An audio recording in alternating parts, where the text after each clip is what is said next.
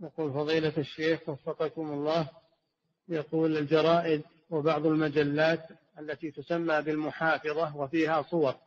هل تدخل في الصور التي تمنع دخول الملائكة إذا كانت في البيت؟ إذا كانت هذه الصور مرفوعة ومحتفظ بها نعم تمنع. أما إذا كانت مهانة تداس وتلقى وليس لها قيمة؟ فلا تمنع.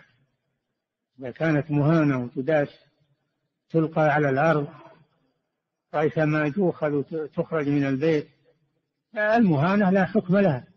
أما إذا كانت مرفوعة ومعتنى بها لا يجوز هذا. نعم.